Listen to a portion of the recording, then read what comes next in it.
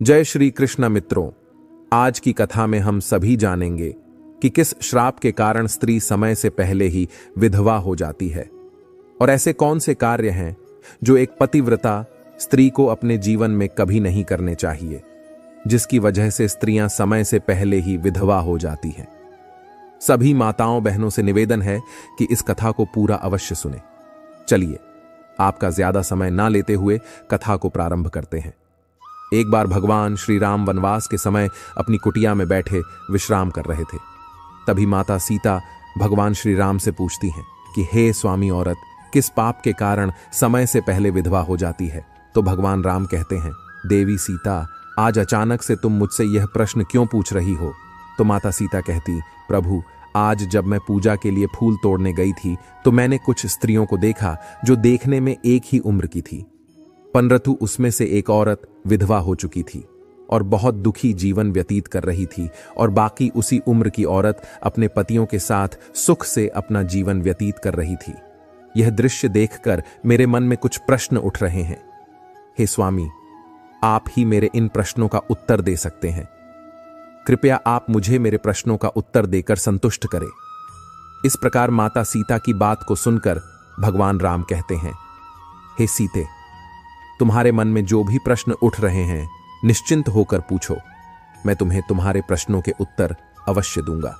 फिर देवी सीता कहती हैं, हे प्रभु, मेरा पहला प्रश्न है कौन सी स्त्री समय से पहले विधवा हो जाती है और सारी उम्र दुखी जीवन व्यतीत करती है? और मेरा दूसरा प्रश्न है कौन सी स्त्री को जीवन में कभी सुख शांति नहीं मिलती? और मेरा तीसरा प्रश्न है, वह कौन सी चीज़ है जो एक पत्नी अपने पति के मांगने पर भी पति को नहीं देती। इस तरह माता सीता के तीनों प्रश्नों को सुनकर भगवान राम कहते, देवी, तुम जिन स्त्रियों की बात कर रही हो, उनमें से एक स्त्री समय से पहले ही विधवा होकर अपना दुखी जीवन व्यतीत कर रही है और वहीं पर अन्य स्त्रियाँ सुहागन हैं और अपने पति के साथ खुश होकर सुखी जीवन व्यतीत कर रही हैं। तुम जानना चाहती हो, आखिर ऐसा क्यों है? तो देवी सुनो। मैं तुम्हें इन सभी प्रश्नों का उत्तर एक कथा के माध्यम से देना चाहता हूँ। इस कथा को बहुत ही ध्यान से सुनना, क्योंकि आधी अधूरी कथा सुनने वालों को आधा अधूरा ही ज्ञान प्राप्त होता है, जो जीवन में कभी काम नहीं आता। और यदि तुमने ध्यान से सुना तो तुम्हारे तीनों प्रश्नों के उत्तर कथा को सुनने के बाद तुम्हें मिल जाएँगे। फिर माता सीता कहती है, स्वामी, मैं आपको वचन देती हूँ कि मैं इस कथा को पूरा सुनूँगी और संसार की समस्त नारियों तक इस कथा को आपके माध्यम से पहुंचाऊँगी। माता सीता की यह बात सुनकर भगवान राम कहते हैं, हे सीता, सबसे पहले मैं तुम्हें उस स्त्री की कहानी सुनाना चाहता हूँ, जो सुहागन बनकर सुखी जीवन जी रही है और जिस सुहागन स्त्री की तुम बात कर रही हो, वह स्त्री और कोई नहीं, बल्कि कौशल नरेश के नौकर की पत्नी है। और वह स्त्री जिस नौकर की पत्नी है उस नौकर को अपनी पत्नी पर पूरा विश्वास है कि मेरी पत्नी एक चरित्रवान और पतिव्रता स्त्री है, जिसकी प्रशंसा वह नगर में सबसे किया करता है और अपने साथियों से अपनी पत्नी के गुणगान किया करता है। फिर भगवान राम माता सीता से कहते हैं कि, हे देवी, उस नौकर की पत्नी की चर्चा समस्त नगर में होने लगी। धीरे धीरे फैलते हुए ये बात राजा के दरबार में पहुँच गई और यह बात सुनकर राजा ने अपने नौकर को बुलाया। और उस नौकर से राजा कहने लगे कि तुम हर किसी से कहते हो कि तुम्हारी पत्नी एक चरित्रवान और पतिव्रता स्त्री है। क्या वास्तव में तुम्हारी पत्नी एक चरित्रवान और पतिव्रता स्त्री है?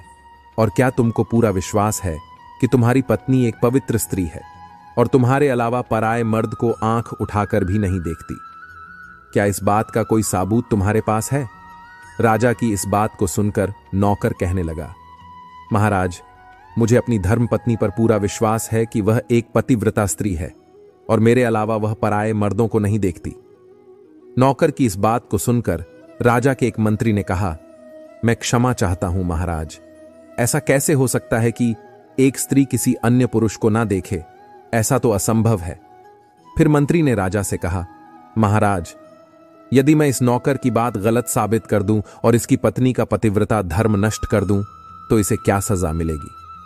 फिर नौकर ने कहा, महाराज, यदि महामंत्री जी मेरी पत्नी का पतिव्रता धर्म नष्ट कर देते हैं तो आप मुझे फांसी की सजा दे देना। और यदि महामंत्री जी मेरी पत्नी का पतिव्रता धर्म खंडित नहीं कर पाए तो इनको भी कुछ सजा मिलनी चाहिए। नौकर की यह बात सुनकर राजा ने कहा कि मंत्री को भी फांसी की सजा दी जाएगी। मंत्री ने यह बात स्वीकार कर ली और नौकर से पूछा कि मैं तुम्हारी पत्नी से क्या वस्तु लाऊं, जिससे तू मान ले कि मैंने तेरी पत्नी का पति धर्म खंडित कर दिया।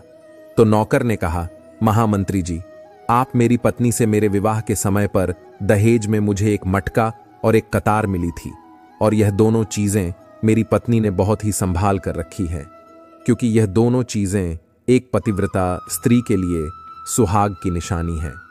यदि तुम यह दोनों चीज़ें मेरी पत्नी से लाकर मुझे दिखा दोगे तो मैं मान जाऊँगा कि मेरी पत्नी का पतिव्रता धर्म महामंत्री जी आपने नष्ट कर दिया है। तब मंत्री ने नौकर की यह शर्त स्वीकार कर ली और वह मंत्री दरबार से निकलकर नगर में जाता है और एक जादू टोना करने वाली स्त्री से जाकर मिलता है, जो काम कोई नहीं कर पाता था। वह काम वह जादू टोना करने वाली स्त्री कर कर देती थी। फिर मंत्री ने उस स्त्री को सारी बात बताई और कहा, तू कैसे भी करके उस नौकर की पत्नी से मेरा संबंध बनवा दे। इसके बदले तुझे जितना धन चाहिए मैं उतना धन देने को तैयार हूँ। इस तरह मंत्री की बात सुनकर वह स्त्री कहने लगी, मंत्री जी, आपको कहने में आसान लगता होगा, किंतु ऐसा कुछ भी नहीं है। तुम जिस औरत के बारे में बात कर रहे हो, वह औरत एक पतिव्रता नारी है। उसे ना ही किसी धन का लोभ है और ना ही किसी वस्तु का लालच है। तुम्हें क्या लगता है? वह तुमको मटका और कतार दे देगी। फिर वह स्त्री कहती है, महामंत्री, वह तेरी ओर थूकेगी और नगरवासी तेरी खाल उतार लेंगे। यह बात सुनकर मंत्री डर गया और कहने लगा, यदि तू मेरा उससे संबंध नहीं करवा सकती है तो एक काम कर दे। उसके घर जाकर उसका मटका और कतार चुराकर मुझे दे दे। और उसकी पत्नी के जांघ के पास यदि कोई निशानी हो तो वह निशानी मुझे देखकर बता दे। फिर मैं तुझे मुँह मांगा, इनाम दूँगा। तुझे जितना धन चाहिए, उतना धन मैं दूँगा। बस तू मेरा यह काम कर दे।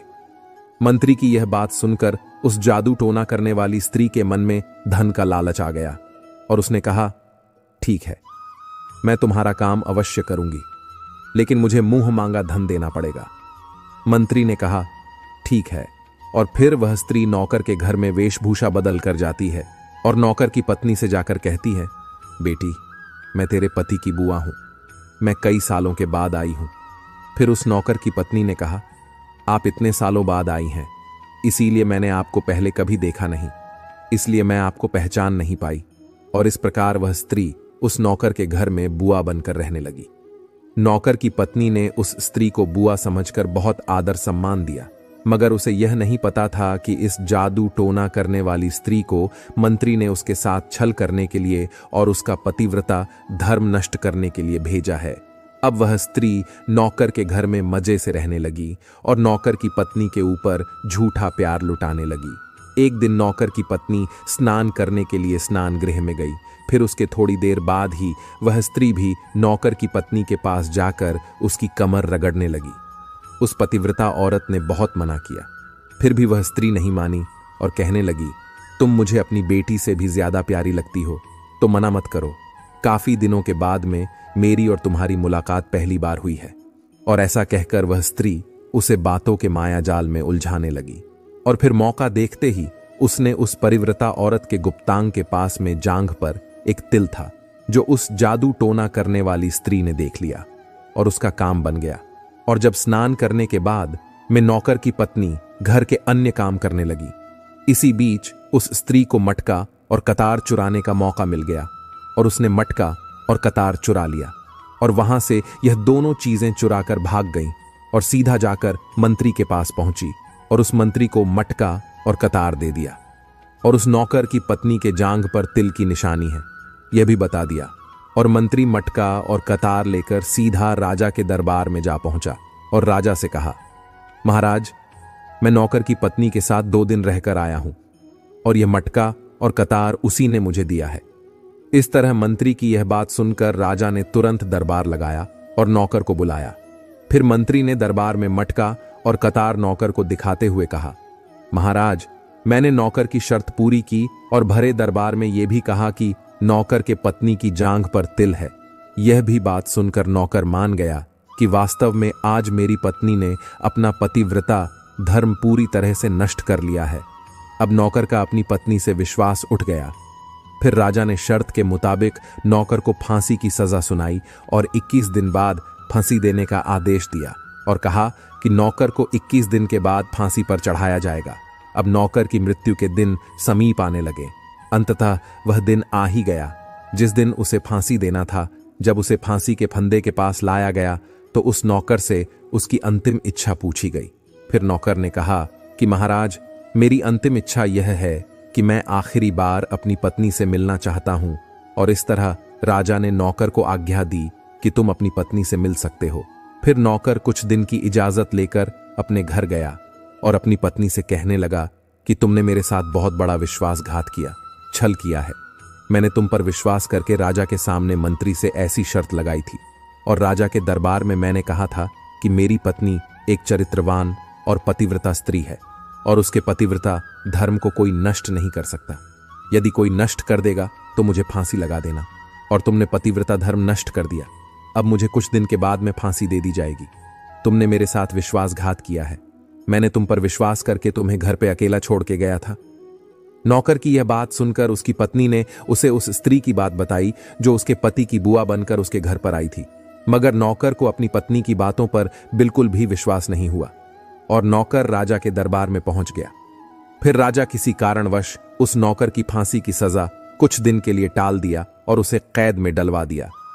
नौकर की पत्नी अपने पति को निर्दोष साबित करने के लिए राज दरबार में गणिका अर्थात नाचने गाने वाली औरत की वेशभूषा धारण करके पहुँच जाती है और राजा से उसके सम्मुख अपना नृत्य दिखाने की आज्ञा मांगने लगी। राजा ने स्त्री की सुंदरता देखकर नाचने की आज्ञा दे दी।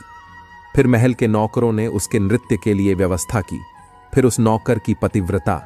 पत्नी ने जब नाचना शुरू किया तो उसका नाच देखकर राजा बहुत मोहित हुए और फिर राजा ने कहा, मैं तुम्हारे नृत्य से बहुत प्रसन्न हुआ। मांगो।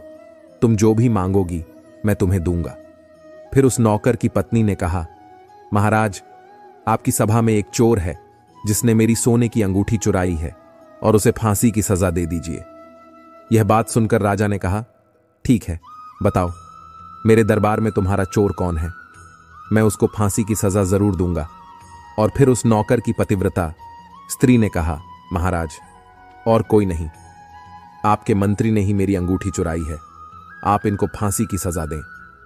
जैसे ही मंत्री ने सुना कि यह स्त्री मुझे चोर बता रही है तो तुरंत मंत्री कहने लगा, महाराज, मैं शपथ खाकर कहता हूँ कि मैंने इसकी अंगूठी नहीं चुराई है। और मैंने इसे आज तक कभी देखा ही नहीं है तो मैं इसकी अंगूठी कैसे चोरी कर सकता हूँ? मैंने आज तक इसकी शक्ल ही नहीं देखी है। आज पहली बार मैं इसकी शक्ल देख रहा हूँ। जैसे ही मंत्री ने कहा कि मैंने इस स्त्री की आज तक शक्ल ही नहीं देखी है तो वह पतिव्रता औरत अपने वास्तविक वेशभूषा में आ गई और कहने लगी, महाराज, इस मंत्री ने मुझे पहले कभी देखा ही नहीं। तो आप इससे यह पूछो कि यह मटका और कतार कहाँ से लाया है? और मैं उसी नौकर की पत्नी हूँ, जो आपके यहाँ पर नौकरी करता है, और आप मेरे निर्दोष पति को फांसी पर चढ़ाने वाले हैं। इसीलिए मुझे यहाँ इस गणिका की वेशभूषा में आपके दरबार में आना पड़ा। मैं आपको इस मंत्री की पूरी सच्चाई सुनाती हूँ। ये जो आपका मंत्री है, इसने मेरे पास में एक जादू टोना करने वाली स्त्री को मेरे पति की बुआ बनाकर भेजा था, और उसने धोखे से मेरी जांघ के तिल का पता लगाया।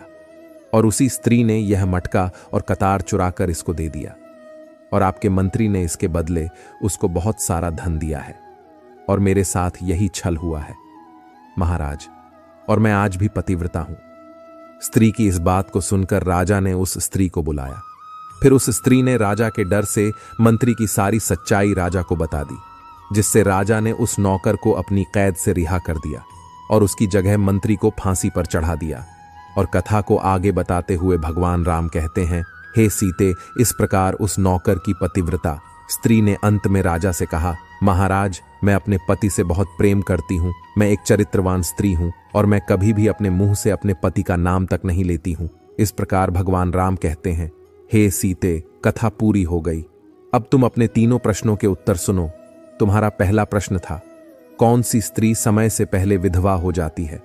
तो जो स्त्रियाँ अपने मुँह से अपने पति का नाम लेती हैं और उनको हमेशा नाम से ही बुलाती हैं, वे स्त्रियाँ समय से पहले ही विधवा हो जाती हैं और बिना पति के दुखी जीवन व्यतीत करती हैं। क्योंकि यदि कोई स्त्री अपने पति का नाम मुँह से लेती है तो पति की उम्र कम हो जाती है और समय से पहले ही उस स्त्री के पति की मृत्यु हो जाती है और स्त्री समय से पहले ही विधवा होकर एक दुखी जीवन जीती है। बस यही कारण है कि तुम जिन स्त्रियों की बातें कर रही थी, उनमें से एक विधवा इसी कारण से हुई है, और उनमें से एक नौकर की पत्नी थी, जो पतिव्रता स्त्री थी। यह स्त्री कभी भी अपने पति का नाम मुँह से नहीं लेती थी, जिसके कारण वह आज भी सुहागन है और सुखी जीवन व्यतीत कर रही है, और वह स्त्री जो समय से पहले विधवा होकर दुखी जीवन जी रही है, वह हमेशा अपने पति को नाम लेकर बुलाती रहती थी। जिसके कारण उनके पति की उम्र कम होती चली गई और फिर उसके पति की मृत्यु समय से पहले ही हो गई।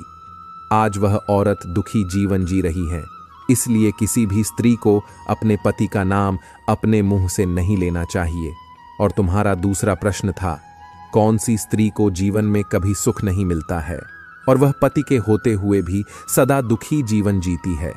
तो समझ लो जो स्त्रियाँ अपने पति की बिना अनुमति लिए कहीं भी चल देती हैं, वे कभी सुखी जीवन नहीं जी पाती हैं। ऐसी स्त्रियाँ जीवन भर दुखी ही रहती हैं, और उन्हें पति का प्रेम कभी नहीं मिलता। फिर भगवान राम माता सीता से हैं। तुम्हारा तीसरा प्रश्न था कि ऐसी कौन सी चीज़ है जो एक पत्नी अपने पति को मांगने से भी नहीं देती है। तो समझ लो, वह चीज़ गाली है, जो एक संस्कारी और चरित्रवान स्त्री कभी भी अपने पति को नहीं देती है। और जो स्त्रियाँ अपने पति को गाली देती हैं, वह स्त्रियाँ कभी चरित्रवान नहीं होती। और ऐसी स्त्रियाँ जीवन भर दुखी रहती हैं, उसके जीवन में कभी सुख नहीं आता। और समय से पहले ही ऐसी स्त्रियाँ विधवा हो जाती हैं। और इस प्रकार माता सीता कथा सुनने के बाद अपने तीनों प्रश्नों का उत्तर पाकर संतुष्ट हो जाती हैं। और कहती हैं, क्या प्रभु, वास्तव में जो स्त्री चरित्रवान होती है वह कभी दुखी जीवन नहीं जीती है। तो भगवान राम कहते हैं, नहीं, क्योंकि ऐसे घर में लक्ष्मी का सदावास होता है, और वह घर धन, दौलत और खुशियों से हमेशा भरा रहता है, और चरित्रवान स्त्रियाँ हमेशा घर को स्वर्ग बना देती हैं। मित्रों, अगर यह कथा आप सबको अच्छी लगी हो तो कमेंट्स में जय श्री राम ज़रूर लिख देना और वीडियो को लाइक करके चैनल को सब्सक्राइब कर देना।